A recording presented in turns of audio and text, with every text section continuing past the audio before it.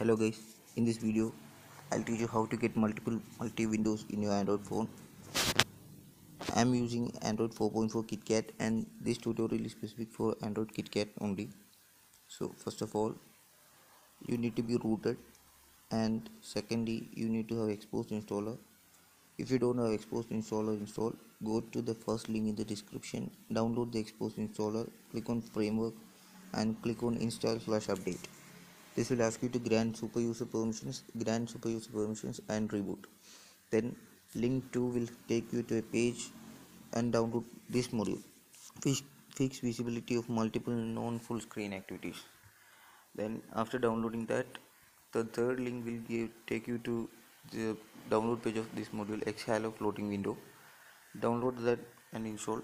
Activate both in module section and reboot.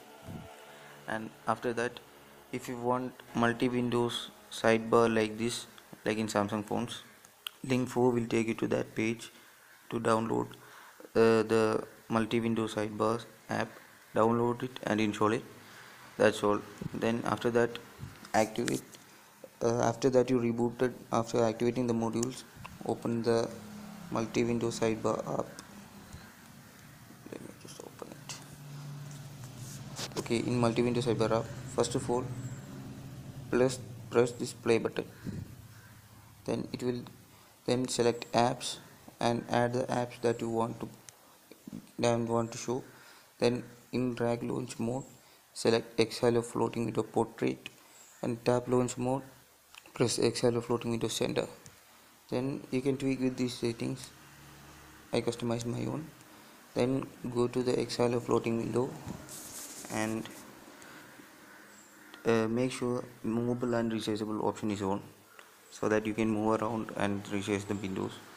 And then after that you're all set. Then you can have multi windows in your phone like this. Um, like this. You can also snap it to the you can have a snapped windows snap this you can snap this to the top and take another app and snap it to here like this and it will work just fine. You can use both the apps at the same time like this and yeah that's pretty much it. I hope you enjoyed the video. If yes then like and share this video.